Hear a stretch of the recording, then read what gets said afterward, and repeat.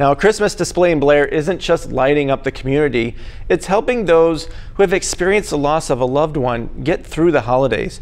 News 19's Danny Smith and photographer Crystal Flintrop take us to the City of Angels.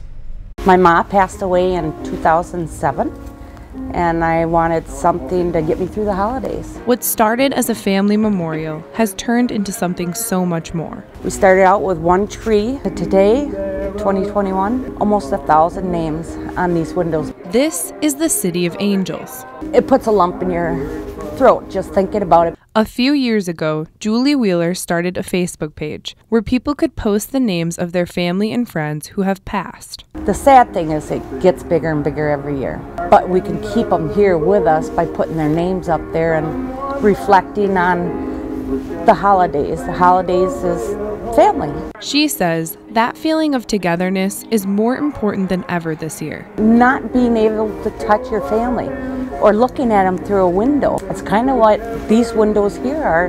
You're looking through heaven to see your loved ones. That's kind of what 2020 was like. It was just really tough. Through it all, the City of Angels is bringing laughter, tears, and holiday cheer. It's uplifting, it's uh, humbling, um, and it's an honor that they trust me to do this for them. In Blair, Danny Smith, News 19. Now, Julie says she has more window displays ready for next Christmas. She hopes to keep this tradition going for years to come.